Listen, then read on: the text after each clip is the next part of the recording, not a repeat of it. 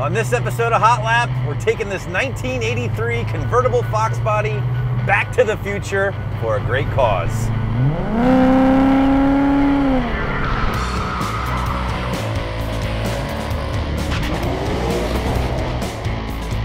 What's up guys? Justin with AmericanMuscle.com and boy do we have a video for you here today. Now, I'm really excited to be standing next to this 83 V6 carbureted convertible Fox body. Why?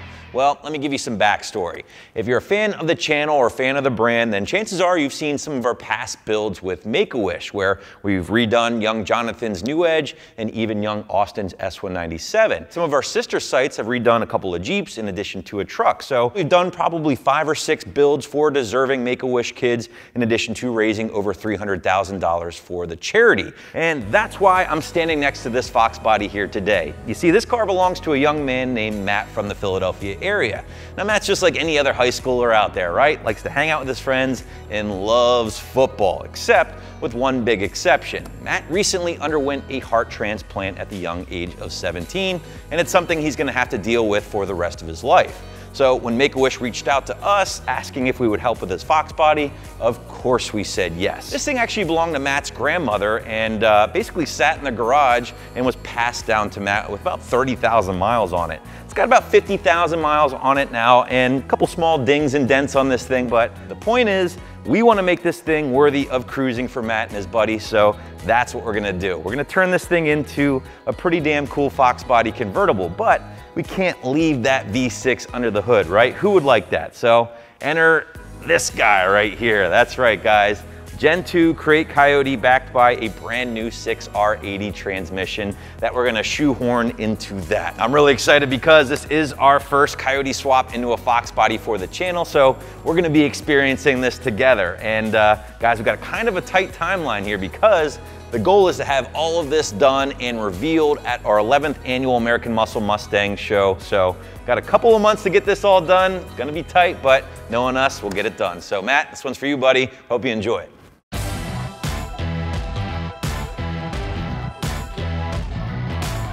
Well guys, as promised, uh, first step is yanking out this crusty old carbureted V6 with Joe here to make room for the new transplant. And uh, yeah, this thing's kind of grimy.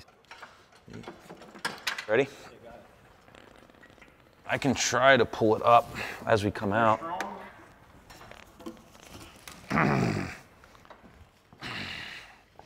oh!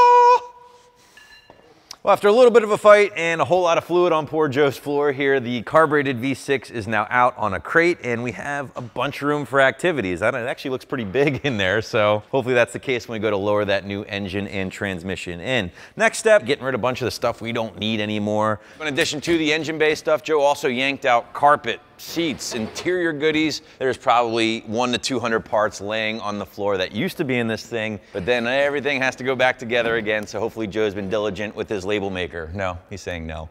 But uh, knowing him, it's gonna come back together very, very well. Now I have to push this thing out into the trailer, get it off to paint. But the good thing is, should be nice and light here with no motor.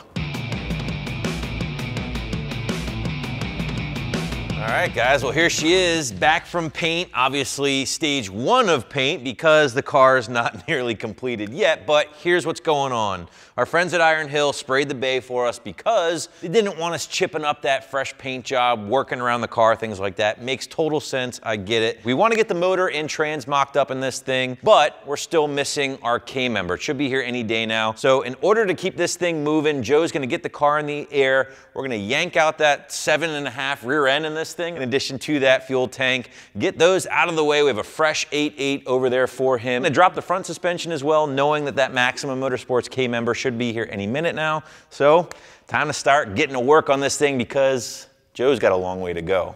I'm just helping. I'll just set that anywhere.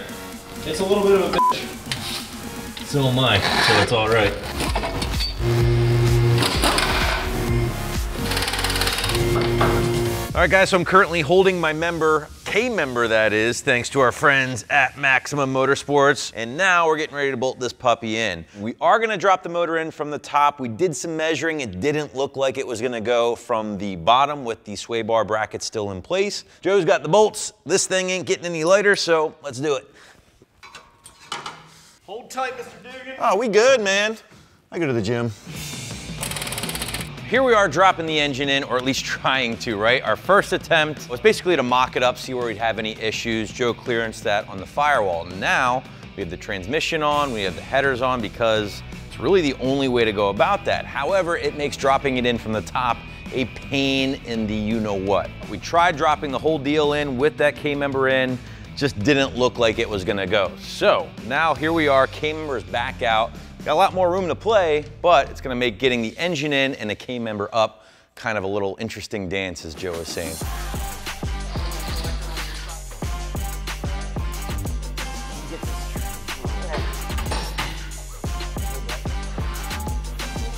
Well guys, after a lot of grunting, moving around, the engine is finally in. This size of engine and transmission was obviously never meant to go in something as small as a Fox body, and it shows when you do go to bolt this thing up for the very first time or fifth time, as was the case with us. Kooks supplied us with these headers to fit a Fox Coyote swap car with a 6R80. Next up, we're gonna move on to suspension. Joe just finished up welding in all of the torque box reinforcements, painted everything, it looks great. You guys know these Fox bodies are basically made out of tin foil. About 400 wheel on tap is gonna twist this thing like a pretzel. Stifflers cross member is in place for the transmission. Everything lines up, looks great great. So now it's time to start hanging some suspension because we gotta make this thing a roller. We gotta get it off to paint because we are running out of time. So we got some control arms. BMR uppers are already in place. I am currently holding the lowers. We also got some Eibach stuff going on here. As you can see, they also hooked us up some really killer parts, including a badass set of coilovers up front, which you guys will see in a minute, but we're gonna concentrate on this rear end. So let's go. Paging Joe, rear axle time.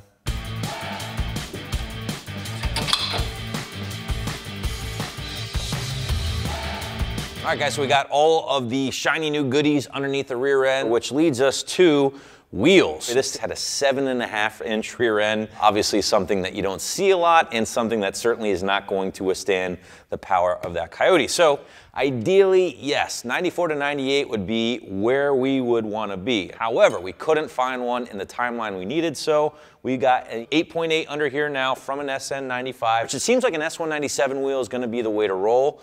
A higher positive offset is really what we're going to be looking for here without doing a whole bunch of cutting. We got an SN wheel here just to see how it's going to fit, but this should be interesting testing these out. These won't even fit over the hub. All right, remember that whole part where I said the S197 wheel would fit a lot better than the SN95 wheel? Well, guess what? I was wrong yet again. What we're looking at here is an SN95 new edge wheel, 17 by 8, plus 30 offset. And yes, it does poke a little bit, but it actually looks really good. This is not the wheel we're obviously gonna use, right? But we're just getting a sense of what is going to work here with this car with that SN95 rear axle. It's gonna be kind of a hodgepodge of wheel fitment, but Matt, don't worry, buddy. We are gonna make it look good for you. Let's talk suspension. We can actually cruise up front real quick. Stan, let's check it out. Really nice stuff from our friends at Eibach. They hooked us up with their Eibach Pro Street S coilovers. You can also get a better sense for all the Maximum Motorsports goodies in here as well. We got the A-arms in place, uh, the knuckles, obviously. We don't have the bump steer kit in yet. It's coming together. Again, this thing is gonna be a roller here by the end of the day. I mean, it's really coming a long way in a short period of time. Motor and trans is in, rear end's in, suspension's in. So next step is to wheel this puppy into our trailer, ship it on down to Iron Hill Paint and Body, get it loaded up.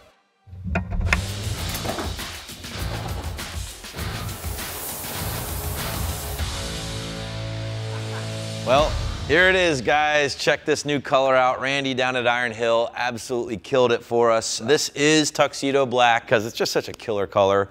A lot of flake in this thing once you get it out in the sun. As you can see now, we do have a Cervini's cowl hood on the car. And if you guys are paying attention, you'll notice this is now an 85 to 86 style front bumper because four-eye Foxes, these front bumpers are just the way to roll. They look so much better. Obviously, no interior in the car yet, no brakes on the car yet. Got to run new EFI fuel lines, got to run brake lines, got to do power steering lines. You get the point. I need to stop talking and keep it moving.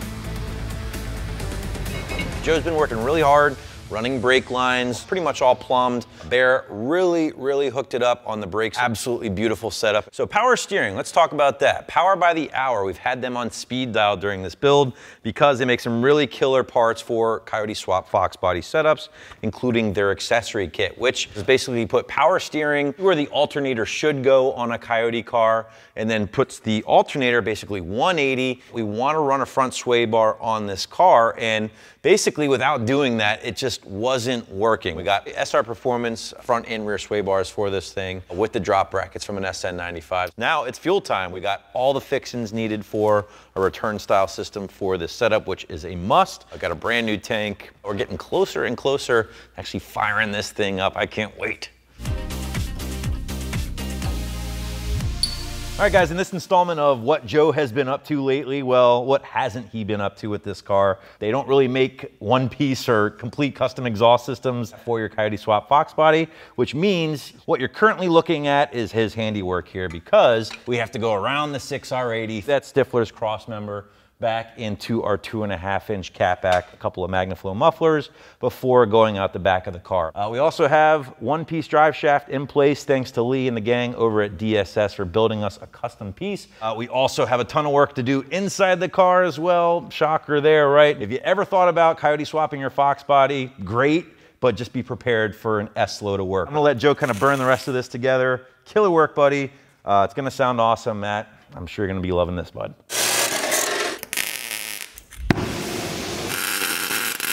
As you can see, it's looking a little closer to completion. Andrew and Joe have been doing a lot of wiring on this thing. I've actually just finished up the stereo system, which in and of itself was a chore here with an 83 engine. I think we're about to find out if it's working or not. We haven't started this thing yet. So Joe, you wanna do the honors, brother? Key her on.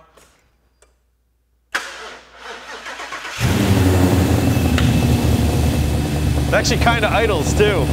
Awesome, man.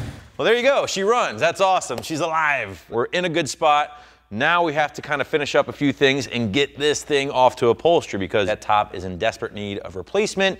And plus we're gonna change up the color a little bit more. That white just really isn't working here. So get this thing kind of as prepped as we can to roll out the door, which means we gotta put some new wheels and tires on this. And I'm really excited to show you what we have in store there. And the cherry on top are the Ford Forgestar F14s. Look at that, Vince from Ford Forgestar. He delivered with a custom set of wheels and tires in charcoal and they turned out beautifully. Up front here, we had to go with the 17 by 8.5 plus 35 offset pretty flush with the front fender, looks mint, wrapped in the Nitto Motivo here all season tire again because Matt's gonna be dailying this thing if you can believe it. The rear wheel setup on the other hand is actually from an S197. So it's actually a 17 by nine and a half plus 44 is the offset there and that is just perfect with that new edge rear axle that we have in the car. Getting ready to put this thing on the trailer, go out to upholstery and then it's crunch time. We're only two weeks away from the show. We got a long way to go, so stop yapping and get this thing bolted up.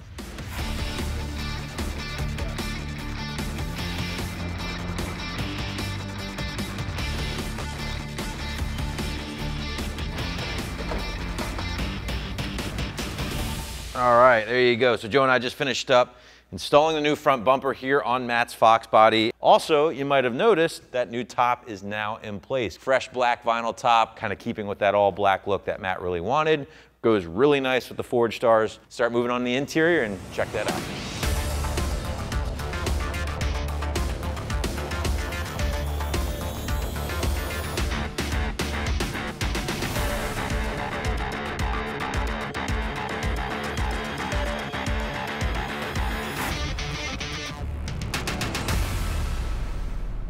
Check that out, huh?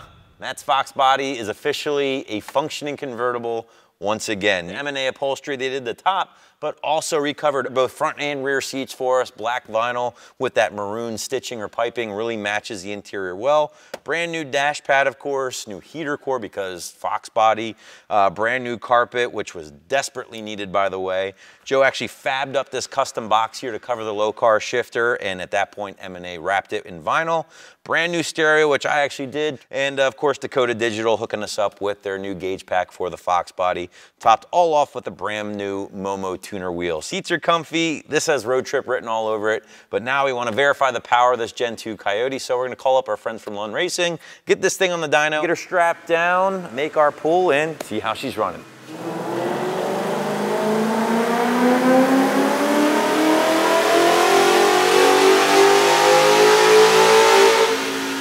All right, guys, we just finished up the second of two dyno runs. Now, after a revision from John Jr., car is making right on the money for what a Gen 2 Coyote should be making. 388 horsepower, 361 pound-feet of torque to the tires, more than enough to have fun in a little Fox body like this. So what do you say we get it out on the street?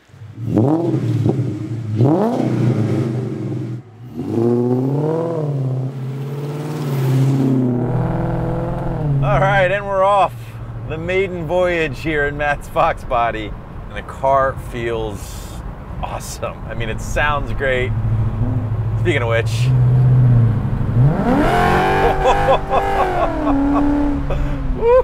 that surprised the hell out of me.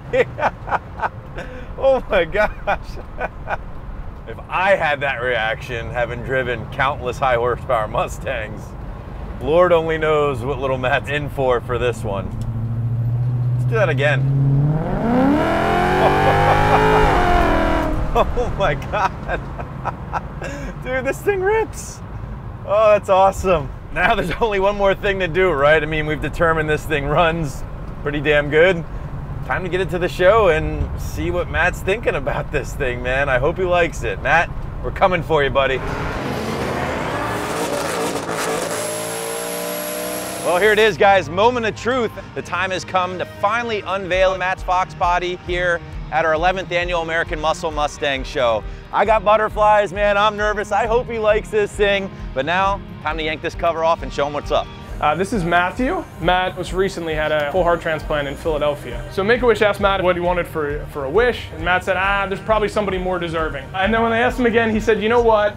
My, my grandmother gave me this 35 year old Mustang. If you guys could just pull the dents out of it and maybe paint it black, that would be great. As you can imagine, not a chance we were stopping at painting it black and pulling the dents out, and Matt deserves a hell of a lot more than that. One, two, three.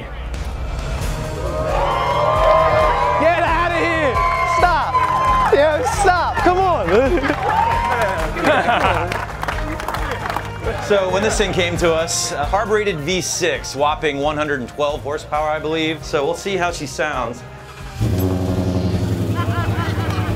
That's some V6, isn't it? In place of that carbureted V6, you have yourself a brand new Ford Performance 435 horsepower Coyote crate engine, sir.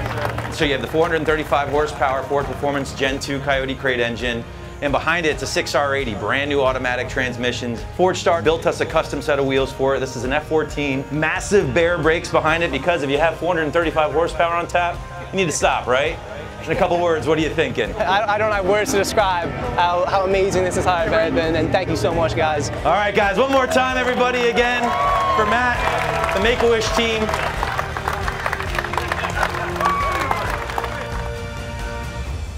Well, after the last couple of months of thrashing on the car, early mornings, late nights, blood, sweat, and tears, and a few choice four-letter words, Matt's Fox body is finally wrapped up. And I tell you guys, there is nothing like pulling that cover off for the very first time and seeing the massive smile on Matt's face. Makes everything worth it and it really just puts things in perspective a little bit more. This build really couldn't have happened without a few key people and key vendors. Of course, first and foremost, Big Joe turning the wrenches, that guy is just wise beyond his years and is a true craftsman when it comes to building the car like that. Also want to thank Stan and Andrew Fleming again for helping out, Andrew especially with the wiring. Randy from Iron Hill Paint and Body, obviously getting that thing looking right, spraying that tuxedo black paint job and just helping out in the final hours. M&A Upholstery for getting that top and interior looking perfect after 30 plus years of abuse. And of course, a few key vendors, Lund Racing for getting the car running great, Frank and Christian from Power by the Hour answering the dozens of our questions in regards to the swap itself, in addition to Kooks, Magnaflow, BBK, Forgestar. Vince, thanks again for the wheels. Baer Brakes hooking us up. Those massive brakes. Cervini's giving us that killer hood, in addition to Dakota Digital and other key vendors as well. This really did take an army to make it what it was, and at the end of the day, the car was a huge success. So thank you guys again. We hope you enjoyed the build. I know I did. It was certainly a very awesome one for us here at AM. Thanks for watching, guys. Remember, for all things Mustang, keep it right here at AmericanMuscle.com.